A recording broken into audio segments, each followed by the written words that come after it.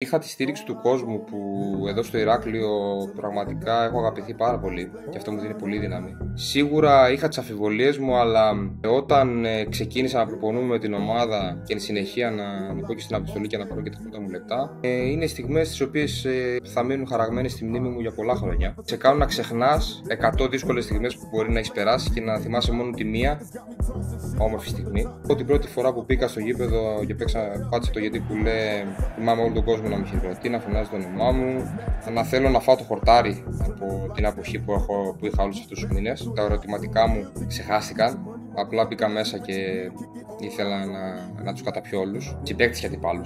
Είναι κάτι το οποίο δεν θα ξεχάσω. Προφανώς ε, δεν άντεξα, λύγησα. Το πιο όμορφο της όλης υπόθεσης ήταν ότι τύχαινε να ήταν και ο πατέρας μου στο γήπεδο μαζί με την κοπέλα μου. Στην ουσία είναι μια λύτρωση, ήταν μια λύτρωση για μας.